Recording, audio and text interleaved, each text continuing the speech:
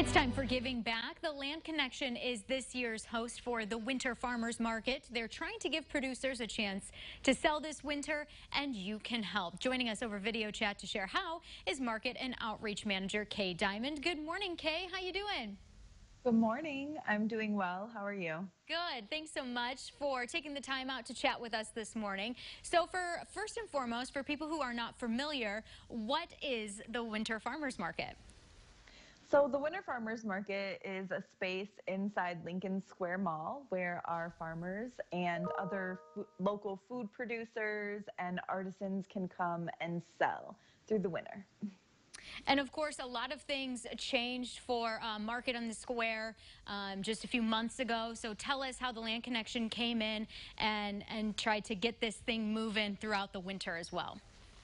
Yeah, there were just so many restrictions because of COVID and public health. So um, TLC came in and was able to reopen the market. It was never officially closed, but we opened the market in November with those restrictions in place. So it's it looks a lot different than it has in past seasons, but we were able to fit 15 vendors in there. So so, of course, I'm sure there's people out there who maybe just thought it wasn't happening due to everything that's been going on. I know we have been talking about it, even though. Um, but what are some of those changes that people can expect if they do decide to come out? Um, of course, wearing a mask. We do have hand sanitizer and hand wash stations throughout the market.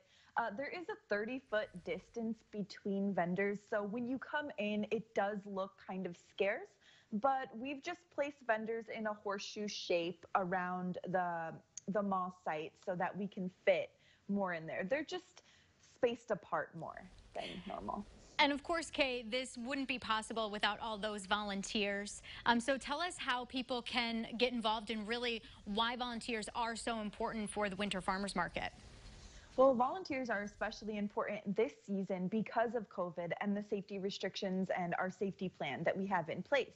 So volunteers not only help with uh, monitoring the site just to make sure that shoppers and vendors are, are practicing our safety plan, but also they help with our SNAP program, which is uh, we offer our link match. And so they help uh, distribute tokens and coupons for that. And Cay, um, why is it so important to have those volunteers there and to have more people signing up right now? I know you guys have a few weekends off just because of where the holidays fall, but why is it really so important maybe after the new year for people to come out and, and help you guys?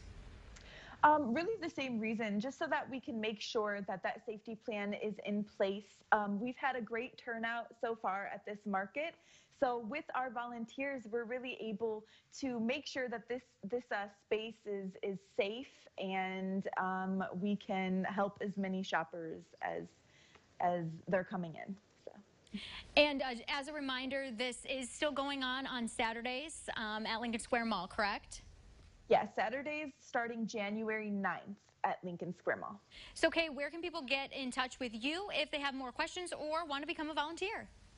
Um, they can go on CU Volunteer and find us there. It's the Champaign Urbana Winter Farmers Market.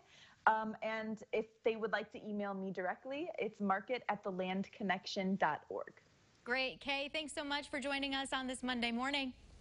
Thanks for having me. Have a Merry Christmas. We'll be right back with more of the morning show right after this.